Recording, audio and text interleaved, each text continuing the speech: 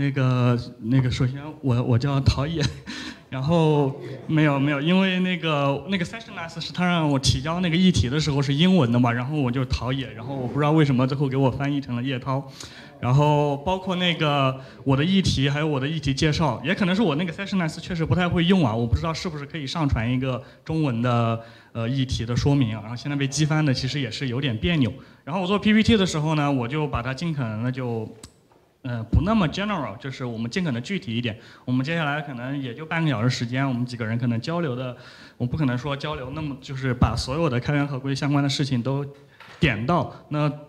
可更多的是我们就聊一下我在做开源合规的一些实践中踩过的一些坑，并且是很多人反反复复踩过的那些坑。然后这也可能就是咱们做的时候就尽可能避免一下这种比较显而易见、容易踩的那些坑。呃，主要是几个方面吧。呃，第一个就是第一个大标题叫合规 True or False，为什么为什么用这个标题呢？呃，其实我想讲的是，合规这个事情并不是一个布尔型的变量，它并不是一个 True or False 的一个选择，它更多的是一个打分的一个事情，可能是六十分、九十分、一百分这样的一个模式。没有人，这个世界上没有一个公司或一个组织或一个项目，它做到了百分之百的合规。虽然我没有调查过，但我也敢这么说，因为真的是。几乎是不可能。呃，这个是一个，就是怎么说呢，就是一个比较常见的。大家如果去看一些关于开源合规的一些那个呃文档啊或什么的时候，会推荐的一个一个相对像一个常见的开源合规的流程。当然，这个流程呢看起来非常简单，包括如果咱们做培训的话，呃，有的人可以给大家做培训的时候讲起来也很简单，但实际上落实起来是非常难。我把这个图简易简单翻译一下，就是这几句话。第一呢，我们就是，这是我们在用开源企业内部组织用开源用第三方组件的时候的一个合规的一个流程。那第一呢，就是我们引入的时候需要做一个合规性分析，第二有个注册，第三选用，发版前的扫描，然后文文档，然后正式分布。这个我就迅速的过一下，不在这展开。但是这样看起来就五句话，就六句话，真正落实到一个企业里头的难度非常高，成本极大。举个简单的例子，就说第一步。第三方组件的引入的第一步，你去第三一个第三方组件，你去怎么去判断它是什么许可证？大家会用一些 SAC 扫描工具，有商用的，有开源的。但实际上，呃，有的项目它自己的许可证的组织，怎么说呢？粗糙到很多人自己都不知道他自己用的什么许可证。这个这个这个是这个是一张图啊，这是画一张图，就是就是我们刚刚讲的这个点，就是你想做到一百分的合规的成本，其实可能比你做到六十分的成本要高个十。十几倍以上都不止，这就是一个一个一个一个图，就是我们刚刚讲的第一个问题，就是我们怎么去判断一，我们就说我们合规的第一步就判断一个第三方组件它用了什么许可证，这个点就非常难。这个，比方说这是我随便找的一个项目，一个 s u m m f i c o Library，这个地方呢，它的这个 GitHub 上它自己选的许可证是 MIT，这个没有问题。然后它在它的 README 文档里头放了一个这个 Modelica License。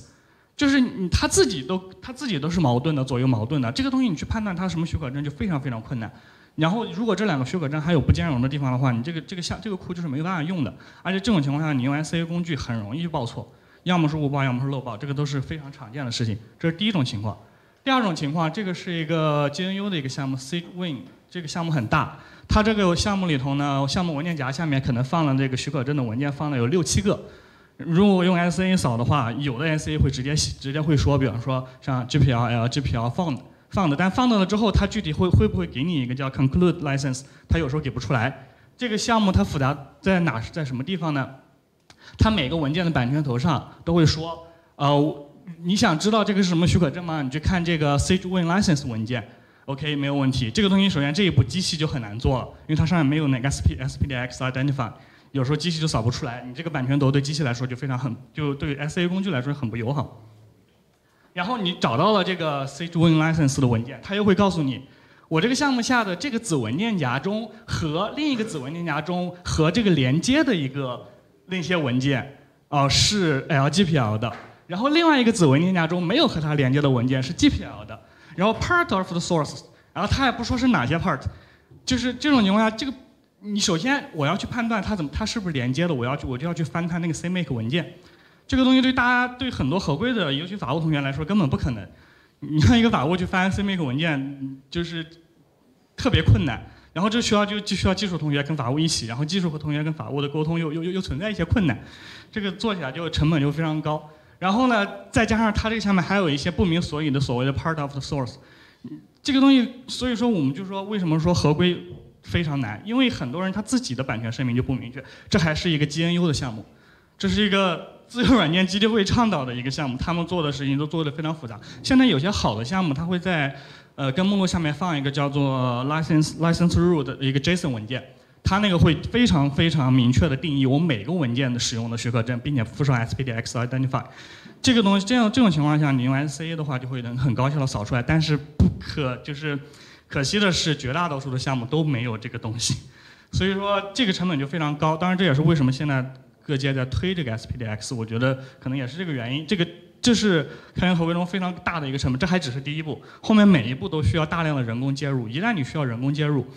嗯，像有些项目可能上千个依赖，你需要去人工介入，那这个项目你做起来就非常痛苦。所以为什么说很，然后于于是乎对大多数公司来说，我就选择不管了，因为你确实做不到。这就是为什么我刚刚说开源合规并不是一个 true or false 的一个问题，它是一个零六十分或者是九十分的问题。九十分能做到的企业，我个人判断感觉 也就就很不容易了。能做到六十分，中国的企业能做到六十分，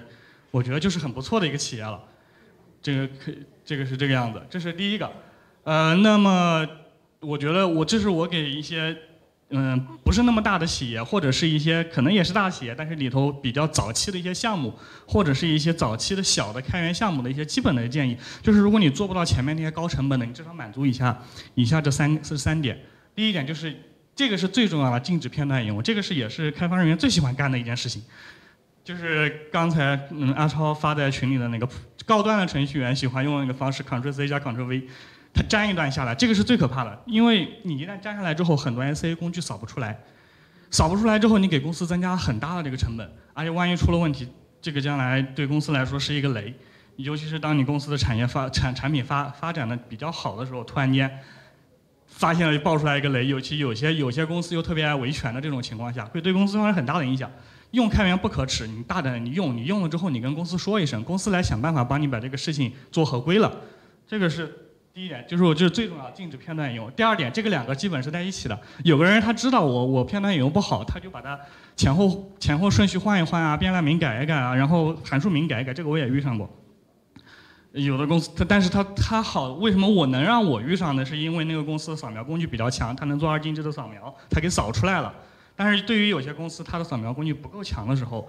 你混淆了之后，其实给公司是埋雷，没有这个必要。你就是所有的开发人员，反正我们用就大胆用，对因为大部分开源项目，MIT、阿帕奇那，你用了其实不会对公司有什么影响，大胆用就行了。然后第三第三个啊禁止删除版权图，这个也很多人喜欢干，就是他一看到一个 copyright，但是他很多程序员就是咱们开发人员，他不是特别懂的情况下，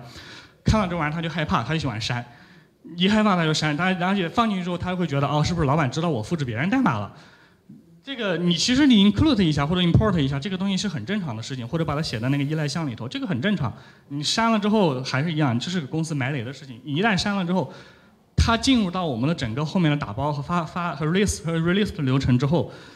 公司的成本是成倍成倍的增长。你在早期把它做了之后，前面其实很容易去做合规，你真的到最后面再去做，其实非常难了。然后第二步就是发版前你至少扫一次，当然大大部分你在 GitHub 上，呃那个有 GitHub Action 啊，或者是你 Git GitLab 这些都有那个 CI 流程里头都会有一个扫描，基础的一个扫描，扫描完之后，然后如果你有没有版权头啊或者什么的，你 CI 的流程可能就不会过，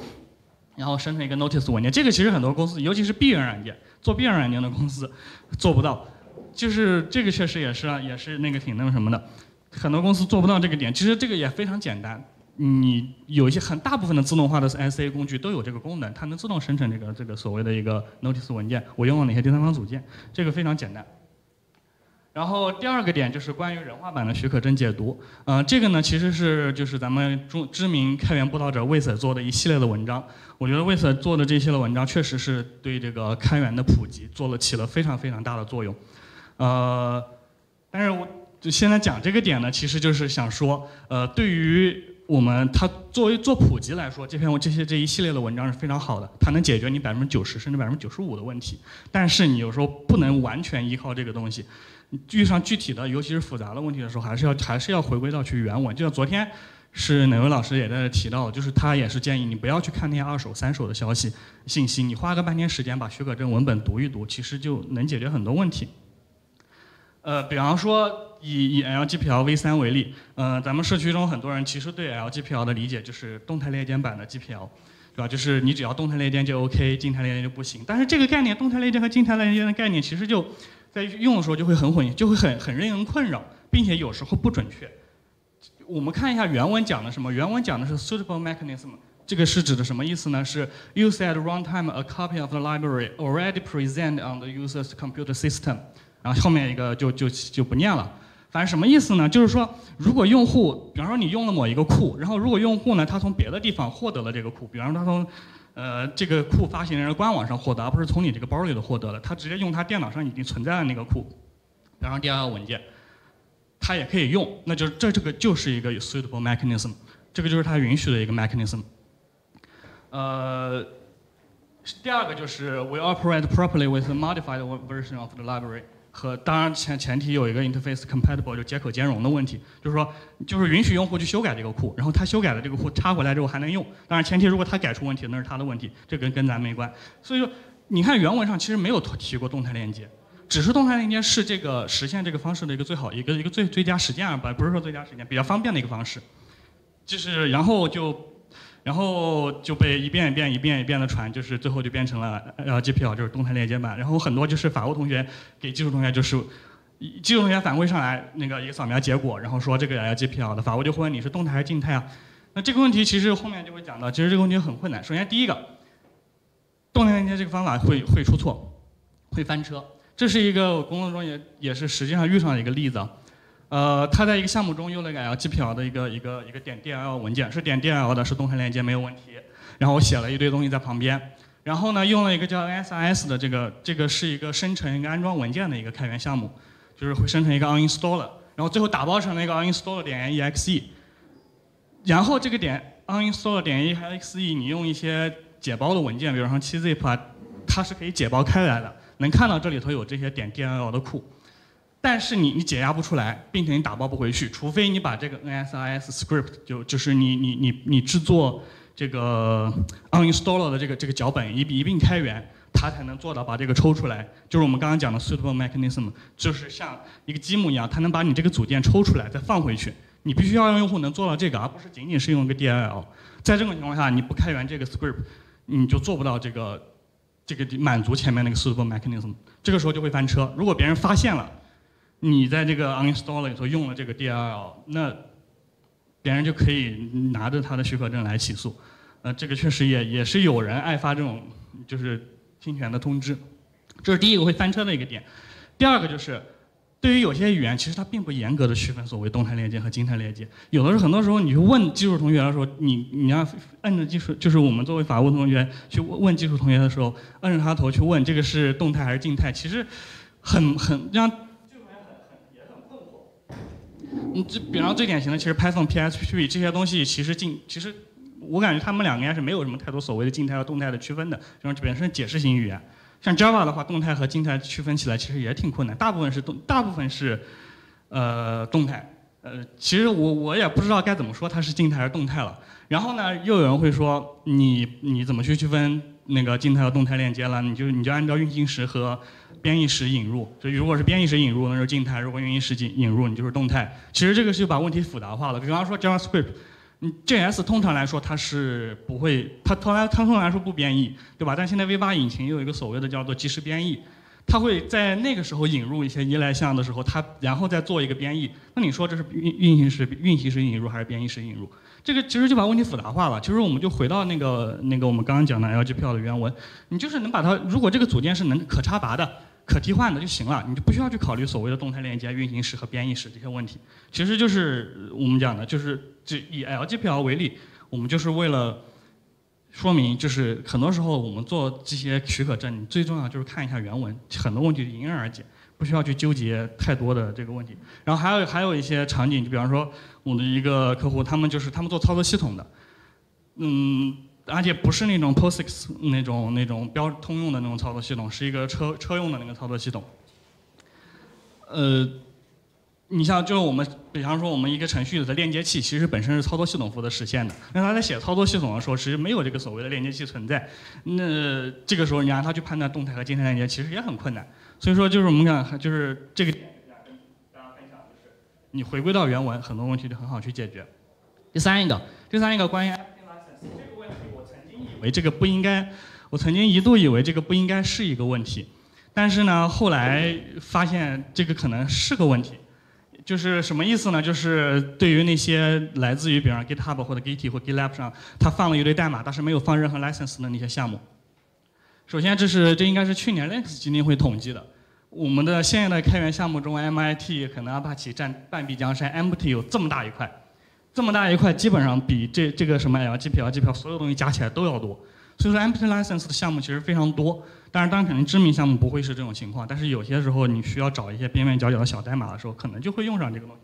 但 Empty License 是是一个我们说在合规上是一个比较大的一个坑。首先第一点，呃，首先第一个要区分 Empty License 和 Unlicense。Unlicense 其实是美国法上一个一个特殊的一个用语，在 GitHub 上它指的是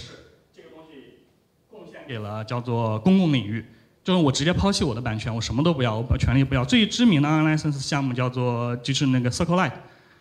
那个一个很轻量化的一个数据库，用的也非常多。它其实就是一个 public domain 的一个东西，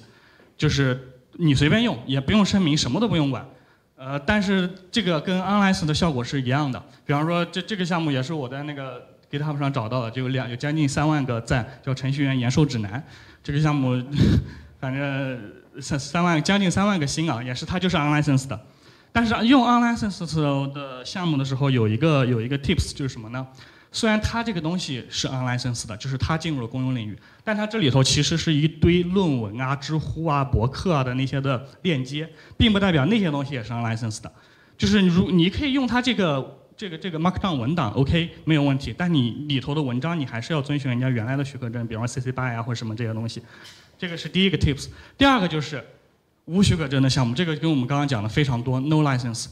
这个项目。这是为什么？就是通过这个项目，我才知道，我才感受到，我我我为什么提？刚刚我说，我觉之前觉得这个应该不是个问题，结果发现这实际上是个大问题。这个是一个，我这个截图来自于一个叫做合匠的一个微信小程序、微信商城小程序开发框架，它在 GitHub 上有大量的这个链接，完了之后呢，全部都是没有声明许可证的。然后这个这个这个框架的使用量非常广，导致这个公司这个合酱公司在过去几年内在全国起诉了将近九千家终端用户，就是每家可能就要个几千块钱，但加起来金额也非常大。就是他全全国去诉讼，就是通过这种方式，就是你按你不放任何许可证，然后对于很多开发人员来说，我在 GitHub 上能找到代码我就用嘛。很多人他不会去看 license，甚至觉得你没放 license 那是你放弃你自己的权利，你有我就随便用，结果导致了。全国可能将近八九千起的一个诉讼，就是围绕这个这个这个框架。我当然我觉得这个公司有一定的钓鱼的嫌疑啊，他故意的，因为可能就知道了中国的开发人员可能没有那么的小心谨慎。呃，我们看一下这个 GitHub 它它本身的那个叫做呃 GitHub 的那个用户许可协议，对于如果没有声明许可证的这个项目应该是什么效果？简单概括一下就不念原文了。就是你对于没有生成许可证的项目，你是许可第三方使用 GitHub 的 functionality，比方说 fork，最典型的就是你可以 fork 它的文，fork 它的仓库，fork 它的东西，然后 GitHub 上执行一系列操作都可以，但是你不能做任何其他事情了，你只能 fork 它一下，或者是 GitHub 上其他的操作，你不能把它 clone 到本地然后再发布出去，这样都不行。当然 clone 到本地这个本身你只要不发布就 OK 了，但反正就是我们刚刚讲的是你不能去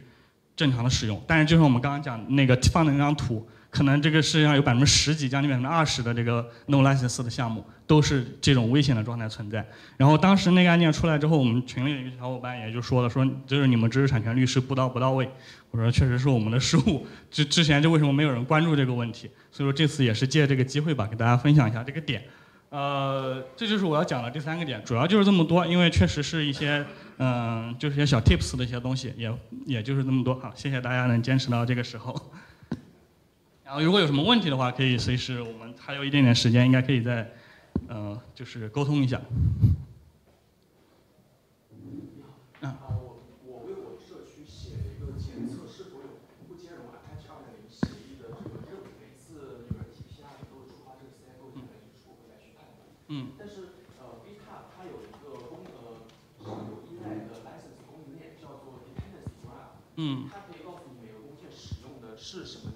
嗯。但是在很多 license 在很多工件当中，它的它不会使用某一种 license，它会使用多种 license。呃，很多 Apache 项目它引用了，嗯，比如说 GPL v3 它的 license，然后它它所分发出来的这个二进制包，它就会是 Apache 2.0或 GPL v3 的这么一个 license。然后还有很多项目，它中间使用的这个连接符不是或，而是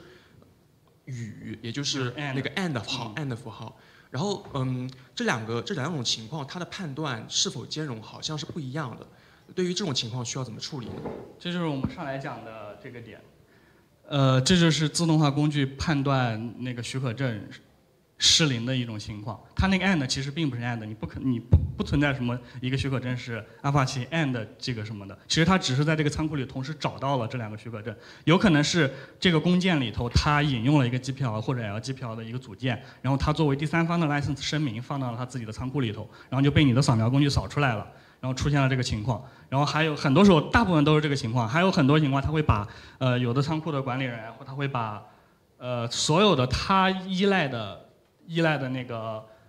呃第三方组件都会扔到一个的的许可证都会扔到一个文件夹里头，叫 license 文件夹，里头可能放了十几种许可证，然后这个时候你的扫描工具可能就会扫到什么 and 什么 and 什么什么 and 什么，就是一串全部给你扫出来。但是具体去判断它是哪个许可证的时候，就需要就我们刚刚讲的，如果是 OR 判断，因为 OR 一定是它显示声明的才会有 OR。就比最典型的就是，如果这种时候，很多时候其实它有可能声明了那个叫 SPDX Identify。如果它有这个东西，比方说什么什么许可证 OR 什么什么。那个是有这个满足 SPDX 那个那个语法，或者是其他的那个 SBOM 那个语法，它它扫出来，这种是它它机器是能明显的识别出来它是 OR 的。其他时候你只能通过文本去人工的去读它的文本。我这个我这个软件我使用的是什么什么许可证，然后有的人会用 OR，有的人会 alternatively，有的人会会用其他的词。这个东西我认为。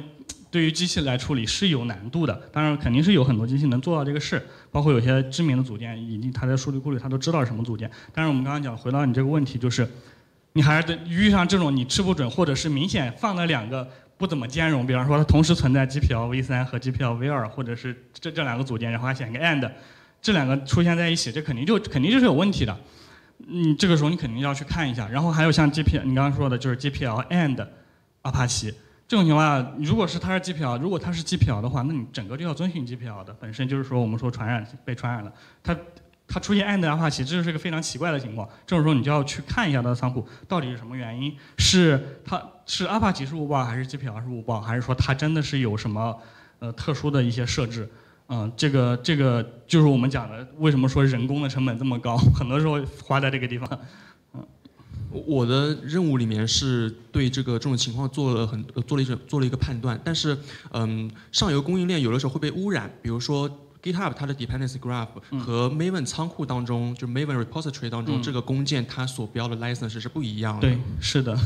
经常会出现这种情况，所以说这种时候就还是要回到，而且有的时候有的时候就我们刚刚讲的，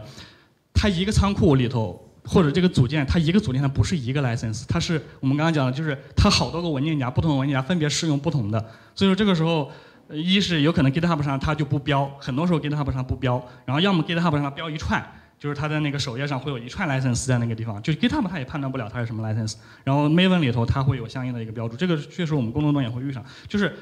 为什么？就我们刚刚说，就是你发现任何异常的点之后，你就得必须得回去看它的这个仓库，甚至去翻它的官网，甚至是发行人的博客，就是我们去找这个它真正的许可证，都是这个套路，就当然是人工。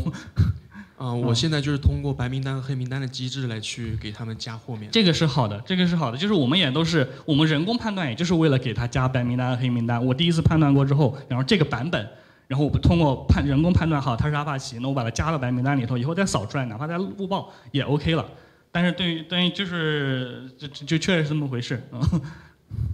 然后最后就会有一些呃个别那种年久失修的 artifact，它在 Maven 仓库上面它所标的那个 license 是不符合 S S SPDX 嗯。规范的，也不符合这个呃就它的这个文本啊，也是不符合任何一个 license 它的官方名称的，甚至有的它会没有标那个 license，也就是刚刚您讲的那个空 license，、但是它那个工件很久没有更新过了，也不知道有没有人在维护，这种情况下可以正常使用吗？这种情况下，我就是讲，如果是没有标的话，没有没有 license 的话，尽可能就不要去用。当然了，很多时候并不是没有，而是而是它不知道藏在什么地方了，就是要去翻。如果能找到，比方说你给它打上个白名单的白名单的一个标签，OK，后面后面就可以继续用了，是这样的。但是都很很多时候确实需要人工去介入这个事情。好的，谢谢。不客气。谢谢唐老师，大家还有其他问题吗？哎，Frank，你好，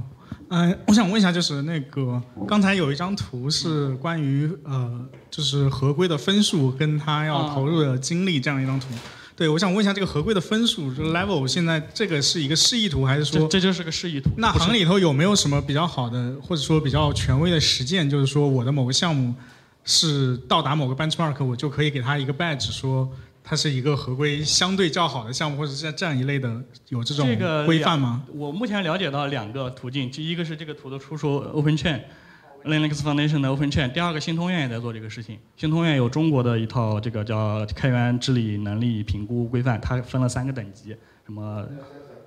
对对对，然后很多有很多有很多组织发了这个规范，嗯，确实是有的，嗯。OK，好的好的，谢谢。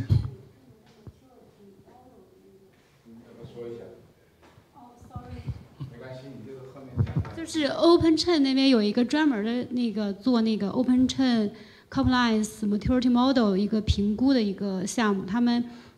会定期的有那个成熟度评估的一个会议，然后如果有兴趣的话，可以拉你一下，这是 Linux Foundation 组织的。对对对。是的，是的。好，谢谢。那我们接下来请这个下一位讲者是刘玉，零一万物的刘玉，来跟大家介绍你们是。